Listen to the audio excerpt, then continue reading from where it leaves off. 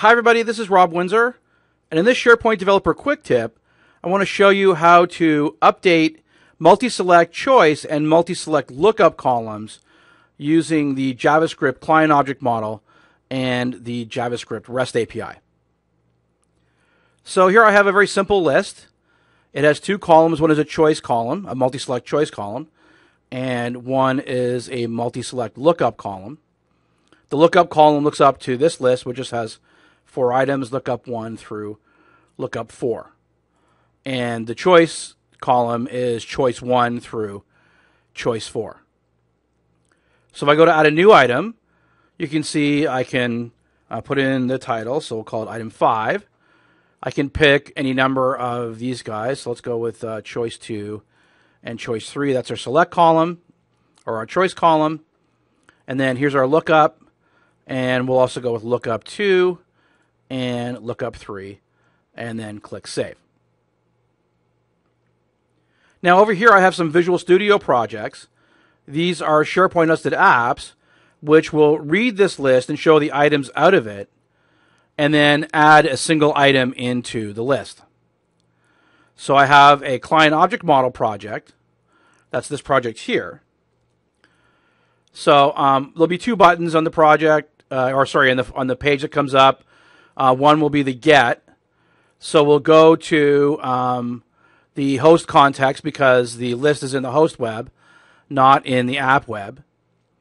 And then we'll get the list. It's called data list. We'll get all the items via CAML query. And then we'll loop through those items, just show the title.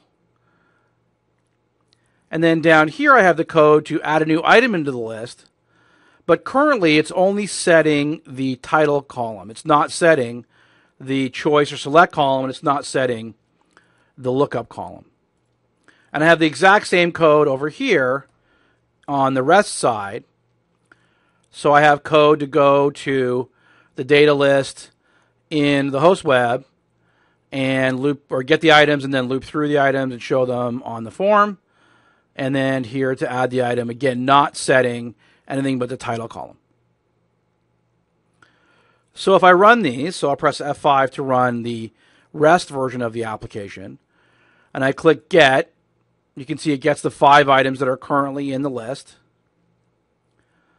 And then click Add Item, that'll add a new item, and then click Get again, and you can see we have the five, five items that were there originally, plus the one that was added here from the REST API and notice that the choice column and the lookup column are both empty. And then over here on the CSOM side, basically have the same functionality. We can do the get, add, do the get again. There's the item added from CSOM. And then close this down, uh, close that down as well. And then come back to our host web, hit F5, and then we have the item here from CSOM.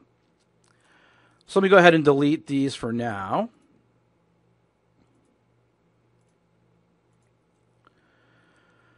All right, so what we want to do is we want to add the code into the add item method to set the choice column and set um, the lookup column in both of these examples.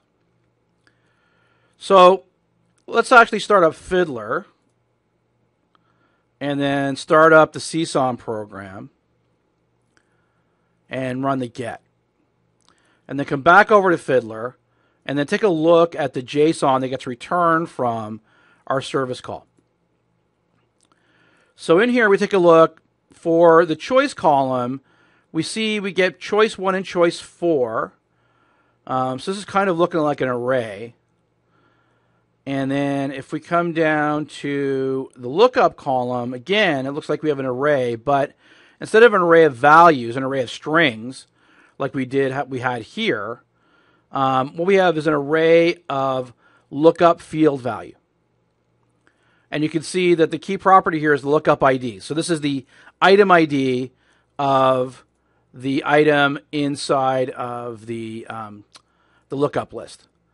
Now I happen to know that I've just added these four items. So this is item ID 1, item ID 2, item ID 3, and item ID 4. So from that information, we can kind of guess as to what we need to pass to SharePoint to be able to update these columns. Here we're going to pass an array of strings for the choice column. And then here we're going to pass an array of SP lookup values for the lookup column. And those objects need to have the lookup ID set correctly. So I come back over to our CSOM example here, stop debugging, and then um, instead of watching you or watching me type this all this out, I'm just going to cut and paste this code in, then we'll examine it. Up here, there we go. And let me go to full screen. Okay, so we're going to call set item on the choice column. Again, it's just an array of strings. So I'm going to choose choice 2 and choice 4. Those are the text values from the options in the select. And then for the lookup field, I'm going to create an array of lookup field value objects. And I'm going to set the lookup IDs on these objects. So I'm going to pick the second item and the fourth item. I'm going to put that into an array, and then for the lookup column, I'm going to pass that array in as the value in set item, and that should set the lookup column values. So let's get out of full screen. Let's hit F5 here to run. Do the get. We have our five items. Do the add. We have our new item. And now if we come over to the lookup list and refresh, and refresh the data list, not the lookup list, there we can see our item from CSOM with choice 2 and choice 4 selected, and also look up to and look up for selected.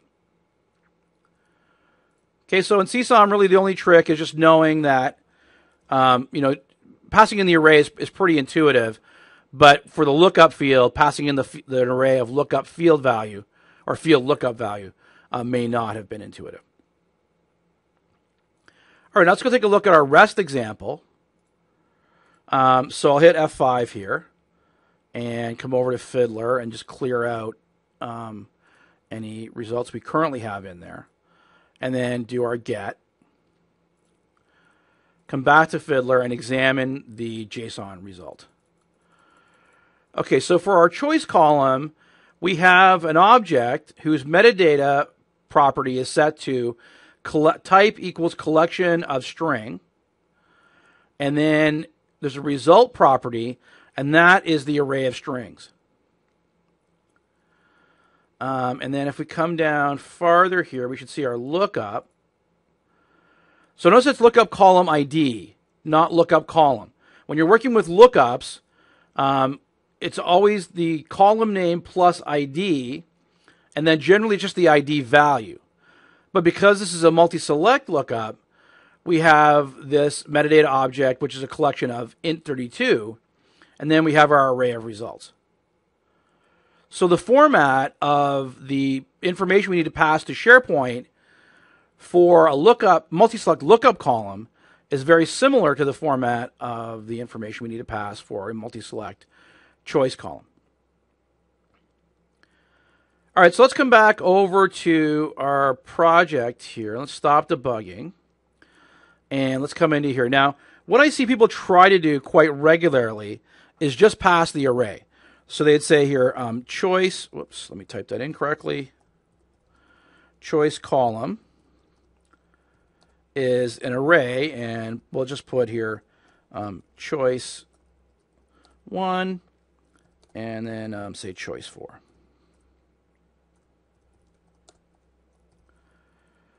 Okay. Um, and then let's go ahead and run this. And then we'll do our get, and then we'll do the add. And here we get an error. A node of type start array was, was read, um, but it's expecting a start object or a primitive value. Okay. So when we see that, that tells us it's really looking for an object, not an array, um, while it's parsing out this text, really. Um, so what we want to do is just basically mimic the format. And with REST API, like 90% of the time, if you mimic what you're given in a get when you're doing a, a post, you're probably going to be right. So we just need to mimic this format in the results of, or in the information we're sending back up to SharePoint when we do the post. So coming back over to here, I'll now put in the code to update not only the choice column, but the lookup column as well. And you'll see it's basically the same format. So we create the object. It's meta underscore underscore metadata is type collection of EDM string for the choice field. And then the results is the array. And then for the lookup column, it's lookup column ID, not lookup column. Right? So it's the name of the field plus ID. And then again, underscore underscore metadata. This time the collection is of int32, not string. And then this, these are the item IDs of the values of the lookup field we're going to select, or sorry, the items within the lookup list we want to select. So again, we're doing 2 and 4 here, and 2 and 4 here. So let's get out of full screen, hit F5 one more time, do our get, do the add, do the get again. There we see the item from the REST API. Come back over to our list and refresh, and we can see our fields are properly set. So those are examples of how to update a multi-select choice and multi-select lookup field from either the JavaScript REST API or the JavaScript client object model.